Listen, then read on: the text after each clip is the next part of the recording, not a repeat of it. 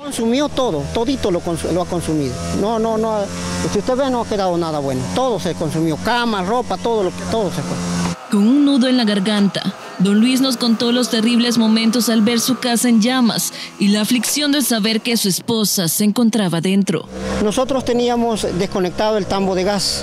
Entonces ella prácticamente en una, en una esquina hizo un juego de leña.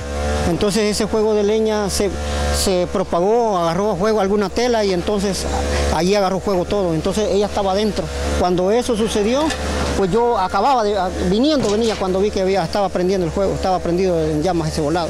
A eso de las 4 de la tarde, Bomberos de El Salvador recibió la alerta sobre un voraz incendio en una vivienda de la colonia San Luis en San Marcos. Eh, al venir ya llegando a este lugar, vimos de lejos las bocanadas de humo que salían del lugar. El difícil acceso hizo que la motobomba primera que traíamos por ser de mayor dimensión no pudo ingresar, ¿verdad? Fue necesario ingresar a pie y empezar labores, ¿verdad?, de, de control del incendio. Y al momento de tratar de encender el quemador se dio un flamazo, una explosión del gas que se había fugado. Eso se propagó rápidamente a las a telas y plásticos que había en el lugar, en el sector donde cocinaban, propagándose el fuego de inmediato. Según bomberos, el siniestro se debió a una fuga de gas que rápidamente hizo arder el lugar. Por ello emiten esta recomendación al manipular el sistema de gas propano. Las mangueras tienden a fallar básicamente después de un año. Es conveniente cambiar la manguera y verificar bien también la válvula de control del gas.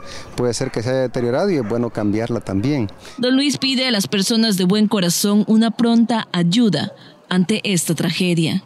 Y tal vez si hay alguna institución que nos puede echar la mano, pues ustedes ven que no hemos perdido todo, pues aquí si nos pueden echar la mano, pues aquí estamos pues, esperando la ayuda de alguien, ¿verdad?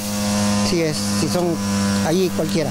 Con imágenes de Edwin Linares, Raquel Castaneda, Noticias 4 Visión.